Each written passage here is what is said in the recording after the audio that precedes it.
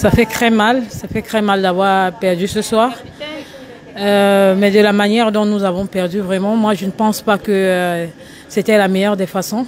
Je pense que si nous jouons au football, euh, c'est fair play et que les arbitres essayent de faire leur travail. Nous sommes là pour nous amuser, pour représenter nos pays. Mais de là à venir nous, nous réduire à ce niveau, vraiment, ce soir, on se sent très mal pour cette défaite. Ça nous fait mal vu l'arbitrage, mais pour mes coéquipières et moi, je, je tiens à leur dire que c'est un sport, on a perdu aujourd'hui, mais demain, il faut rester concentré. On tient à présenter nos excuses au peuple camerounais. Vous avez un sentiment de frustration? Oui, nous avons un sentiment de frustration depuis, euh, depuis euh, le tout début de la compétition. On ne fait que répéter euh, que voilà, les arbitres, on a l'impression que le VAR, c'est uniquement contre les pays africains et contre nous.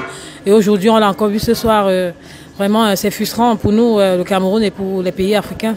Vous avez senti que la rencontre vous échappait quand?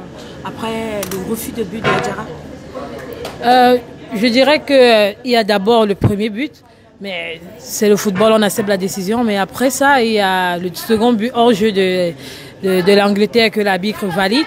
Le juge de touche même a vu que c'était hors jeu, mais l'arbitre euh, elle valide, sans toutefois aller vérifier la caméra. Elle a juste euh, eu euh, des nouvelles euh, vu son kit.